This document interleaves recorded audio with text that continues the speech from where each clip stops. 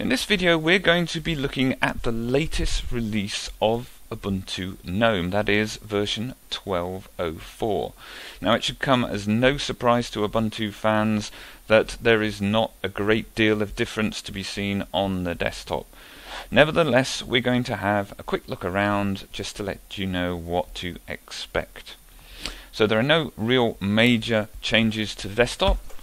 As you can see at the top of the screen we have the top panel and down the left hand side we have the Unity launcher. So let's take a look at the top panel first.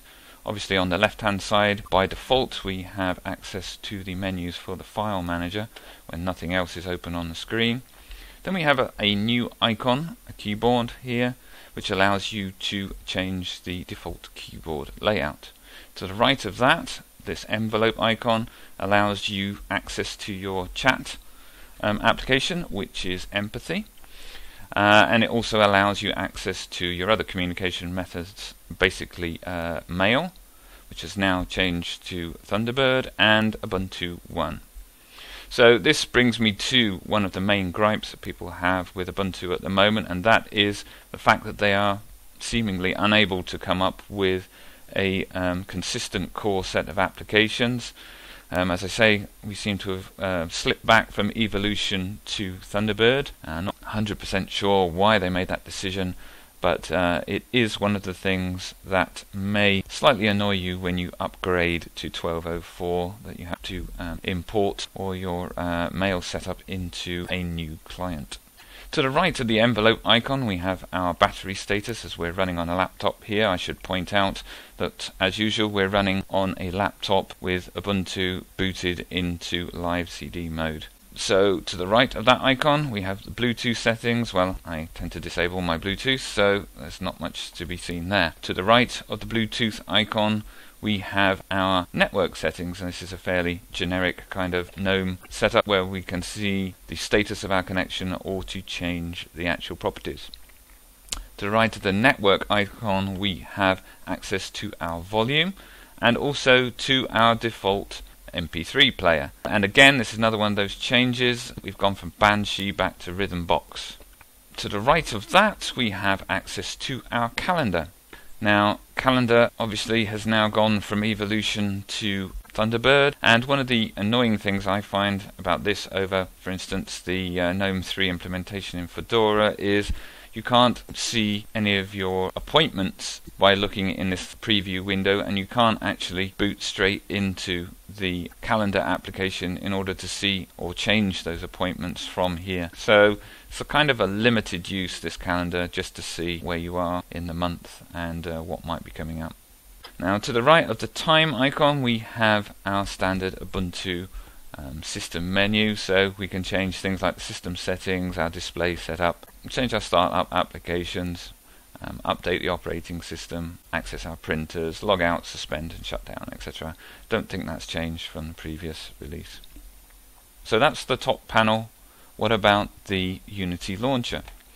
I think the main activity that um, Ubuntu has been concentrating on here is to make things work a little bit better. They supposedly um, updated it to work a little bit faster. Definitely looks a little bit sharper in use. If you hover over any of these icons here, you get this larger label showing you what that icon will invoke when you click on it. If you right click on any of them, you get a number of options for that particular icon. So you'll see that the options change depending on which icon you select. So that's quite nice. Minimize applications are not easy to spot, but this little, you might be able to see it, this very small white triangle down here pointing. These show the applications that I have actually running at the moment, but minimized. So here I've got my browser, I've got my software center, and I've got a terminal window. Uh, one of the annoying things is if you click back on the icon, it doesn't minimize, so you've got to go back up to the minimize icon and physically minimize it. Access to system functions is via this top icon in the Unity launcher. If we click on that, one thing I quite like here is that you can see your desktop to the back, a kind of a translucent or uh, a narrow depth of field effect so you can actually see what's on your desktop while you're actually working in this window. So from here we can search for particular applications. So if I come back to the home I can search for for instance a terminal application and then I can just click on it to launch it. Okay and we can demonstrate here if I was to go back in here you can see that my window is just visible through the background here as an out of focus representation of my desktop, which is kind of nice. Let's take a look at the uh, software center. So I click on the software center. Obviously, it looks very similar to the previous software center. One thing I quite like about this is this new section here, books and magazines, which uh, I quite like. So if you're short of reading matter, you can come in here and take a look at a particular magazine and decide if that's something that you might want to buy and invest in. So that's quite a nice change, I think. Otherwise, the um, software center works very much like it did in the previous release. You can either go via category to look at the various games available, for instance, or uh, internet applications, or you can use the search facility. For instance, if I want to get back to Banshee, because I'm not that keen on Rhythmbox, I can come down here, I can select it, and I can install it from here. So if I just click on this, you can see that the install begins, and I get a progress bar, and eventually it will install. Just talk amongst yourselves while this is happening. Okay, and once it's finished, as it has done now, you can see that the install button changes to a remove button. And I can either go back to my home and take a look there, or I can just uh, get rid of my software center. I'm just going to minimize it here. So as you can see now, I've got a uh, application here. Just click on it, and there we go. There's our Banshee Media Player installed. Uh, one other thing to mention down here is the workspace switcher. Now if we click on this, we have by default four workspaces. If we double click on any of the four corners of this square, we can uh, switch to that particular workspace. One slightly annoying thing I find is that minimize applications don't show up in the workspace switcher. So for instance, if I maximize these and then go into the workspace switcher, I can see those applications, but if I minimize them, I don't see them at all, so it's kind of difficult.